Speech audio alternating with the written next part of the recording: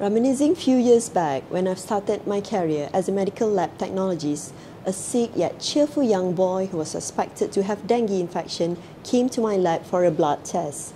His condition that evening worsening and he was transferred to the ICU just next door to my lab. Suddenly, at 2 a.m., I heard a loud, devastating scream from his mom, calling out his name. At that moment, I knew that we have lost the boy. Besides that, few other cases have crossed my path. I have lost a friend and recently a very dear student due to dengue. Never had I imagined that those experiences have brought me here today, working on my PhD research focusing on dengue antiviral. This is a golden opportunity or mission for me to help others from losing their loved ones due to the deadly infection.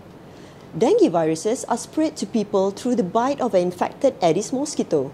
Dengue viral infection can result in variety of symptoms such as fever, rash, and muscle joint pain.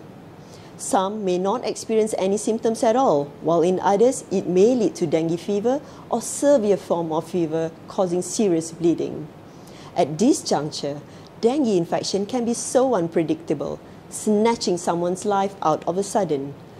This is where my PhD work would like to address an antiviral that can prevent the infected person from experiencing more severe condition by disrupting the virus progress. Now, let us dive in deeper to my mission possible strategies by referring to the infographic that I've prepared.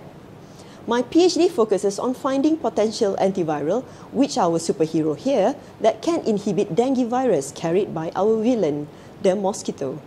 Let's focus on dengue virus. Imagine we are peeling off the skin of a fruit, which is the virus membrane, exposing its flesh, the inner cell, and its seed, the genome and viral proteins.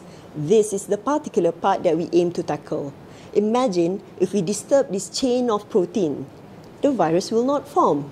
Now, to scrutinize the antiviral that can do the job, I combine the computer simulation and the laboratory method that confirm its potential activities in disrupting the virus formation. So far, three compounds have been evaluated through computer simulation, which displays promising outcome. We do not stop here.